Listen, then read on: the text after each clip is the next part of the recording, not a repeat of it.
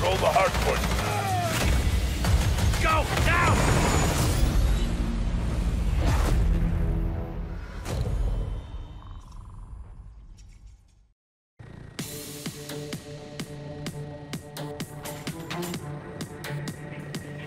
Fala aí galera, como é que vocês estão? Tudo bem? Aqui quem fala é o Léo e você está aqui no blog Ralé.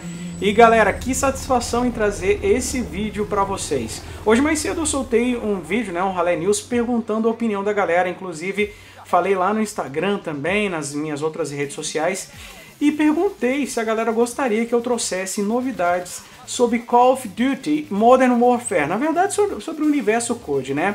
Por que, que eu resolvi trazer uh, informações sobre esse jogo em específico? Foi o jogo, cara, que definitivamente marcou a minha vida gamer, né? Call of Duty. E tem muito tempo que, sinceramente, eu não jogava, mas também tem muito tempo que eu não me dedicava tanto a um jogo da forma que eu estou me dedicando agora a fazer gameplay, a upar as armas, a aprender a entender o jogo e trazer é, informações para vocês. Lembrando que a minha pretensão não é virar, por exemplo, um Hayashi da vida, um Bruno Caprio, sei lá, ou a galera que é referência no Code no Brasil. Mas a minha vontade é trazer novidades e trazer mais gameplays justamente no Xbox One que muita gente me fala, né, que o Code é muito voltado aí para a galera que joga no PlayStation, no PC, e é isso que eu vou fazer a partir de hoje. Vou tentar pelo menos trazer uns três vídeos, talvez até mais, no período da tarde por volta de 18 horas, já anoitecendo, sobre o novo Code. O vídeo de hoje que eu vou trazer para vocês, inclusive já quero que você deixe o like aí para ajudar o canal e me deem sugestão, tá? O vídeo que eu estou trazendo para vocês é sobre o novo update que saiu do Call of Duty, cara, que é o o patch 1.07, galera. Esse patch traz bastante correção, traz mapas novos e correções que a comunidade já estava pedindo há um certo tempo. Vamos lá. Bom, galera, vamos às principais novidades desse update. Chegaram dois novos mapas, galera. Dois mapas gratuitos que vão estar disponíveis já a partir de agora, depois dessa atualização. Um novo mapa multijogador tradicional chamado Shoot House e outro grande mapa da, do Ground War chamado Krovnik Farmland. No Shoot House você visita os desertos do Uzbekistan e entre eles uma instalação de treinamento militar da Shoot House, um mapa apertado de três pistas repleto de potencial de combate perto do quarto. De tamanho médio, ele é perfeito para combate 6 contra 6 e uma variedade de modos de jogo, tá? E a gente espera ter curvas apertadas que suportam um estilo de jogo de correr e disparar juntamente com várias linhas de visão para combates de médio alcance, tá? Então fiquem ligados, porque não é um mapa para você utilizar uh, uma arma de longo alcance aí. Já no modo Ground War chegaram terras agrícolas, as terras agrícolas de Verdansk foram marcadas como evidência de conflito militar e as cicatrizes são visíveis nesse mapa de guerra terrestre. O mapa está realmente bem marcado por causa da guerra, e foi projetado para batalhas em grande escala e comparado aos mapas anteriores desse tamanho e escala, o Krovnik Farmland oferece uma atmosfera distintamente diferente. Você luta contra épicas e frenéticas partidas de Domination em uma paisagem rural vasta e ondulada com casas de fazenda, moinhos de vento, silos e outros cenários agrícolas também. Lembrando que para você jogar o Ground War você tem que ter habilitado uh, com jogabilidade com várias plataformas, no caso PlayStation e o PC, tá? Você não consegue jogar só Xbox contra Xbox no modo Ground War, pelo menos por enquanto. Já nas notas de atualização, vamos trazer as principais, eu vou deixar o link para você no final dessa matéria aqui, para você é, ver as principais notas de atualização, aliás, ver todas as notas de atualização, mas eu vou trazer as principais para você, tá? Nesse patch 1.07 foram corrigidas várias falhas com relação à estabilidade em todas as plataformas, incluindo erros de desenvolvimento e várias correções de desempenho também. Foram corrigidos alguns bugs é, relacionados aí, a, por exemplo, a Claymore, ao raio de ação da Claymore, e muita gente estava reclamando, aconteceu isso comigo, quando você ia atirar numa Claymore, ela não desativada, ela não era desativada, isso daí foi corrigido também, tá?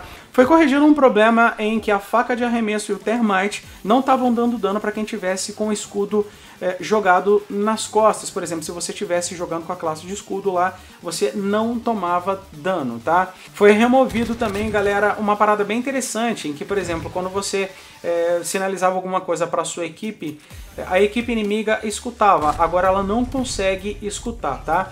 Já é, em montagem, quando você coloca, monta sua arma para atirar, né, que você encaixa ela, por exemplo, apoia numa parede, foi aumentada ligeiramente o recuo durante a montagem, ela acontece um pouco mais rápido.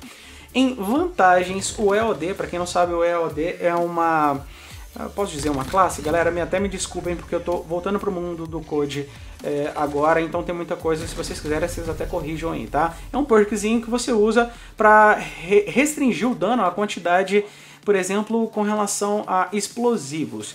A partir de agora, se você tiver com a sua barra cheia, você não morre, que é mais ou menos o que acontece, mas foi diminuído também a saúde com relação à saúde total. Por exemplo, se você tiver com metade da vida e tomar um dano, por exemplo, de Claymore ou uma mina, você acaba sendo morto.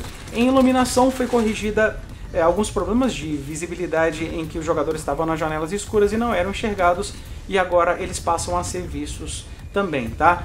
Foi aumentado a porcentagem de oclusão para uh, filtrar o som dos passos dos inimigos, em que tava dando uma zica danada, é porque muita gente tava falando que é como se estivesse jogando com um perkzinho lá, em que você conseguia escutar o adversário inimigo, e antigamente para quem joga os codes anteriores, é, você sabe que só, você só escuta o passo do inimigo mais rápido, é, mais alto, perdão, quando você está utilizando isso daí. E tava rolando, parece que você tava, escutava o cara lá da casa do chapéu, do outro lado do mapa, tá? Foram corrigidas algumas coisas em desafios, progressão e ranking.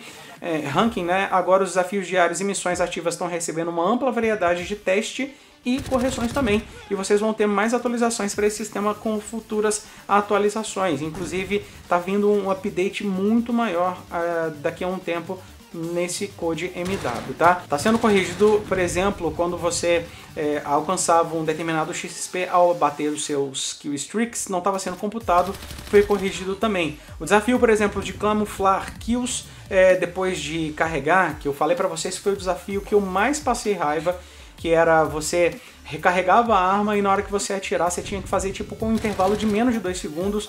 Eles eh, e não dava tempo, né, suficiente para matar. Isso daí teve o seu tempo aumentado, então de dois segundos aumentou para um pouco mais, tá? Não está especificando qual o tempo de, de que você precisa para, eh, por exemplo, fazer carregar sua arma e matar o inimigo, mas está bem maior. A 725 foi nerfada, a N4A1 teve o alcance reduzido de dano e pequeno aumento de recuo, então está mais difícil controlar a M4A1, que por sinal é a arma que a galera mais tem jogado, foi a primeira arma que eu peguei Gold, por exemplo. Já na 725 aumentaram o ADS e o Hip Spread, e o alcance de dano dela foi reduzido, tá galera? Então tá bem mais difícil matar, por exemplo, com a 725. Teve correções aí para SMGs, para Uzi, para MG34, para M91, PKM e para pistolas. Como eu falei para vocês, como o patch é muito grande, eu não vou falar todos, mas eu vou deixar o link certinho, tá? Pistolas, por exemplo, vocês vão ter maior velocidade de movimento e menor tempo de corrida, mas um maior alcance de dano também, galera. Em ataque cibernético, por exemplo, teve uma correção de bug em que o jogador poderia usar uh, perder sua arma principal e não conseguiria ver seu modelo de exibição após ser revivido por um companheiro de equipe. Isso foi corrigido também. Várias correções para Ground War, por exemplo, teve uma correção de um bug que os jogadores às vezes não conseguiam escolher um local de spawn. Isso aí foi corrigido também. Teve ajuste de XP e correções gerais do back-end, que é bem interessante e outras atualizações bem importantes também. Então, galera, a atualização foi gigantesca, mas eu trouxe para vocês as principais é, novidades. Se vocês acharam que, por exemplo, eu deixei alguma coisa para trás, vocês comentem aí. Mas eu quero saber a partir de agora de todos vocês opinião, o que, que vocês estão achando desse tipo de vídeo que é extremamente importante para mim ter o seu feedback, tá? É legal também estar tá trazendo outro tipo de conteúdo além de Xbox. Aqui é lógico que essas, essas informações são principalmente voltadas para a comunidade Xbox e todos os gameplays vão ser gravados no Xbox One X, galera. Então, para você que está aí do outro lado e está acostumado a jogar no Xbox One e não se sente representado dentro da comunidade do Code, eu vou correr muito atrás para fazer isso e para agradar vocês, tá?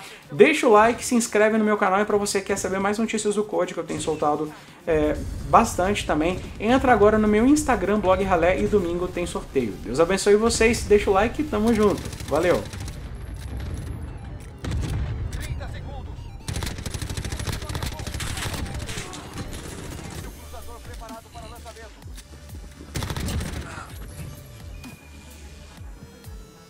aliado acima, começando de radar. Aguante el vértigo, lanzado. Aguante el vértigo.